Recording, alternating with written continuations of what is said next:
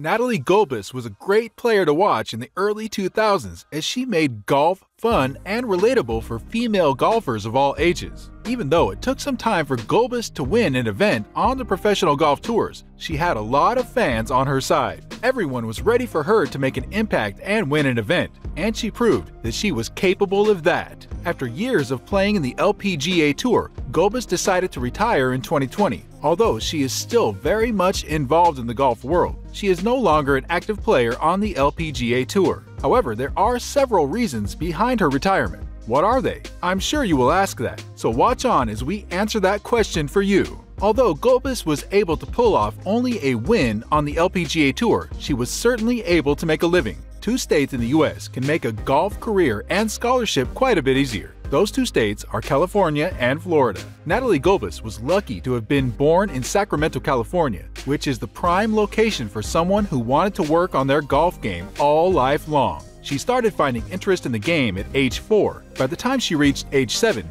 she had won her first tournament, and at age 10, she was breaking par. Gulbis was on a fast track to a successful career in golf. The exciting thing about her is that she is not from a wealthy home. Many wealthy young people become golfers because they were provided with the necessary equipment and amenities, such as growing up at private country clubs where they get to play golf every week in perfect conditions. However, this was not the case for Gulbis. She was able to master the game, and lowering her scores was financial freedom. She played her first LPGA Tour event in 1997 as an amateur at the age of 14. She was the top player on the boys' golf team at Granite Bay High School. She played in the boys' team because there wasn't a girls' team in the school. In addition, she wanted a competitive environment, which she experienced with the team and graduated at 16. When Gulbis got her scholarship from Arizona State University, everyone saw a great college career work for her. Arizona State University is known for having a very strong golf program for both men and women.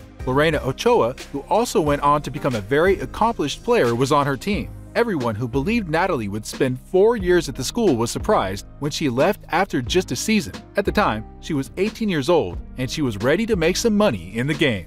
As we said earlier, she isn't from a wealthy family, but she knew her parents needed help when it came to paying for expenses related to her golf game. When she decided this, she quickly made a huge impact on the LPGA qualifying tour. She was able to qualify and placed third and earned her card for the 2002 LPGA Tour for her first time in the tournament. Although she was young then, she had certainly done enough in her career to make it to that level of golf and be ready to compete with the professionals. Her aim wasn't for money alone, but also to win tour events. Even though she was not able to win the event, she did have some good finishes and started to make a living out on the tour. Although Gulbis did not win a tournament until her sixth season on the tour, she finished sixth on the LPGA money list in her fourth season for over 1 million in earnings in 2005. She placed in the top 10 in four consecutive major championships from the 2005 LPGA Championship in the 2006 Kraft Nabisco Championship. Her first professional win came at the July 2007 Evian Masters in France, where she defeated Zhang Zheng,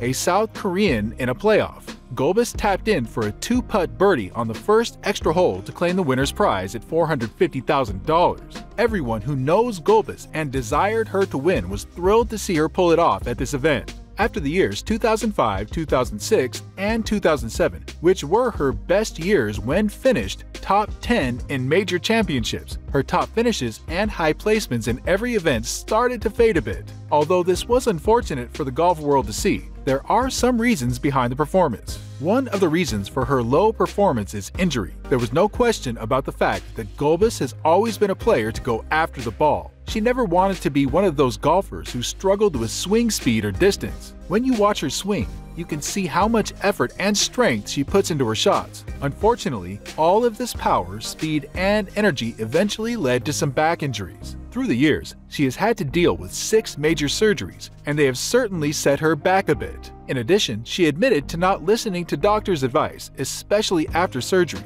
She is a golfer who likes to practice and play a lot. Some golfers will have to force themselves to work on their game, but Gulbis was a person you would have to pull off the range. She would spend countless hours practicing, thinking, and improving before she was able to feel confident in a tournament. After back surgery, she was told to spend only half hour on the range, but she would spend all day. This, of course, led to more injuries, and eventually, she was just doing more harm than good. Now, as an older adult, she can recognize that the decision then was a poor one, and it probably hurt her career. However, that is a decision she has to live with. Also, during the HSBC Women's Championship Tournament in Singapore in late February 2013, Gulbis contracted malaria, which made her miss a tournament while recovering. Now she claims that her back feels really good and that she experiences less pain when she swings. However, her capabilities in golf are not what they once were. Gulbis was always seen as a sex symbol in the LPGA. She released a 2005 calendar just before the 2004 US Women's Open,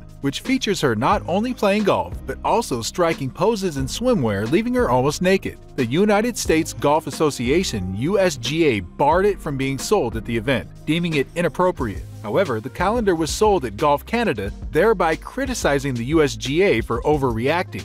Gulbis also posed for the November 14th issue of the magazine FHM, an issue that also gave away a chance to play golf with her at her home course, Lake Las Vegas Resort, where her calendar photo shoot took place. Gulbis has said she likes the attention she gets. Even if not for her appearance, she has endorsement deals with TaylorMade Adidas, McGladrey LLP, Canon, Michelob Ultra, SkyCaddie, Payment Data Systems, MasterCard, Winn Golf Grips, Lake Las Vegas Resort, PureSil, Lexus, and EA Sports. What a massive endorsement deal for a sportswoman! Back in 2006, Gulbis started writing a monthly advice column in FHM. In November 2005, a reality television show called The Natalie Gulbis Show made its debut on the Golf Channel. The show had its second season premiere on October 18, 2006. Gulbis has also appeared on the 2007 version of Tiger Woods' PGA Tour by EA Sports, along with fellow professionals Annika Sorenstam, Ian Poulter, Luke Donald, and others. Gulbis appeared on the August-September cover of Sactown magazine in August 2007 in an article that profiled the rising star's busy life of product endorsement and photo shoots, although she hasn't won any championship yet.